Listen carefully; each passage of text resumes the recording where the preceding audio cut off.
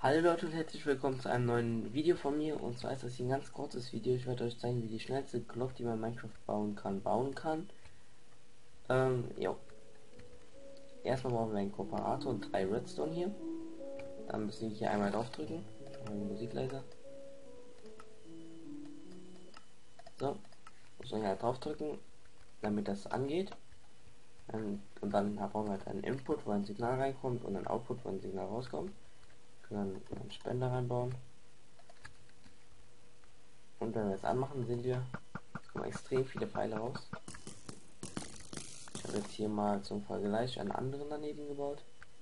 Die normale Glock, also hier geht ein Signal rein, geht hier neben den äh, äh Dispenser, ach Quatsch, Pisten, der fährt aus, das Signal wird wieder äh, gekürzt und das geht dann halt immer so weiter. Das hat auch eine Glock. Können wir mal zum Vergleich, wie viele sind hier drin? Mal 26. Hier auch mal 26 rein.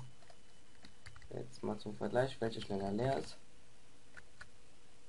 Das sind beides die schnellsten Clocks, die es gibt. Also es gibt auch noch da zwischen den beiden irgendwas, aber die sind sehr kompliziert. Sehen wir. Also sieht es rechts auch mehr aus. wir sehen, jetzt das leer und da geht was aus.